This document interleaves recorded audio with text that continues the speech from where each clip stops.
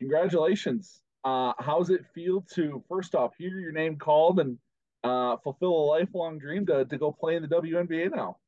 Yeah, I mean, it's I mean, quite literally a dream come true. I mean, it's something that you know I've you know I've dreamt about for I mean as long as I can remember growing up. So um, yeah, I think it was kind of a it was a rough you know uh, 30 45 minutes before I heard my name. Um, I think there was there's a lot of anxiety around the room, but um, yeah, I mean I mean to hear my name called, especially you know with a with a former teammate in Naz, Um, going somewhere you know hopefully you know i'll i'll know someone you know i'll feel comfortable. Um yeah i mean i couldn't couldn't be more more excited and more grateful for the opportunity. What was the moment like when you when you heard the name called and what was the reaction kind of like in the room?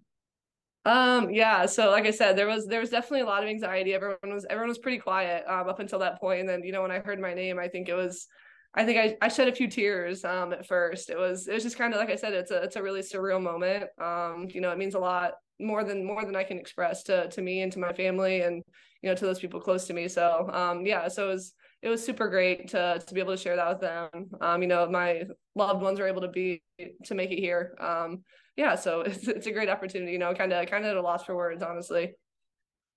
And obviously, the the the process leading up to the draft isn't the necessarily the longest thing in the world. But have you had much contact with Atlanta? Did you have an idea that they might have been interested in you?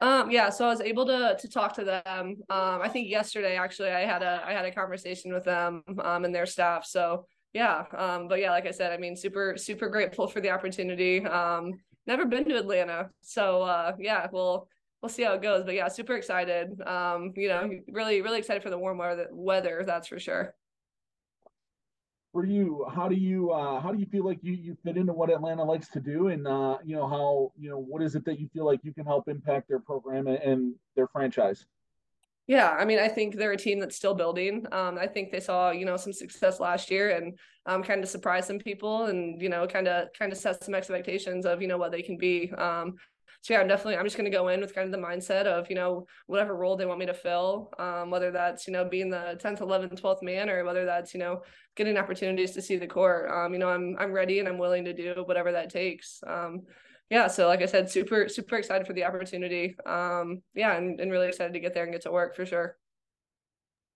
You're the first girl from Northeast Indiana to be drafted to the WNBA since 2006. Uh, obviously, the first one from DeKalb to go. What's it mean to, to kind of represent Northeast Indiana, not only in that way, but also DeKalb High School, uh, and, and really the the 260 in that way, and be one of the first ones to do this?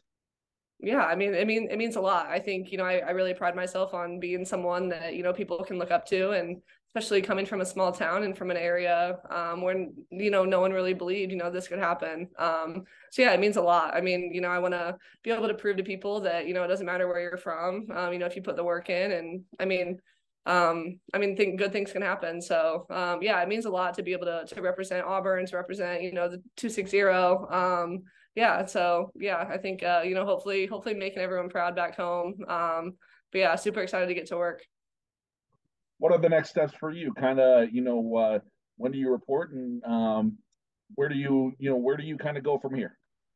Yeah, so training camp starts on the 30th. Um, you know, haven't haven't had any conversations yet with the staff or anything like that. So, um, you know, we will try to fine tune everything. You know, the report dates and things like that here probably tomorrow or the next day. Um, but yeah, so I think you know if not the 30th, maybe a week or a few days before. Um, yeah, so just gonna work work as hard as I can. You know, get in the gym, um, get in the weight room, and you know make sure i make sure I'm ready to report. So super excited for training camp. Where do you still want to see your game grow, and and where do you still you know want to improve the most as you kind of get ready to take this jump now to you know go play against some of the best of the best uh, in women's basketball?